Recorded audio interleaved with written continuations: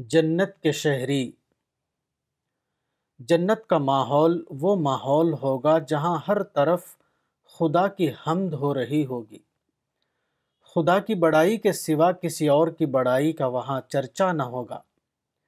इसलिए वही लोग जन्नत की दुनिया में रहने के काबिल ठहरेंगे जो आज की दुनिया में खुदा की हमद और उसकी बड़ाई से सरशार रहे हों।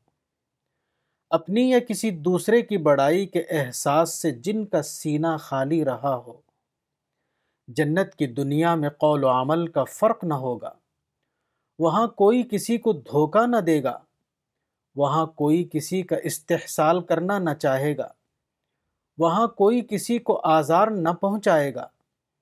इसलिए जन्नत का बाशिंदा वही शख्स हो सकता है जिसने आज की ज़िंदगी में अपने अमल से दिखा दिया हो कि वो शहरीत के उन आला मैारों पर पूरा उतरता है।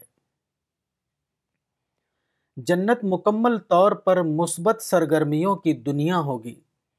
इसलिए वहाँ की आबादियों में बसने का इजाज़तनामा सिर्फ़ उन्हीं लोगों को मिलेगा जिन्होंने आज की दुनिया में ये सबूत दिया हो कि वो खालिस मुस्बत मिजाज रखने वाले लोग हैं और मनफी और तकरीबी कार्रवाइयों से कोई ताल्लुक़ नहीं रखते।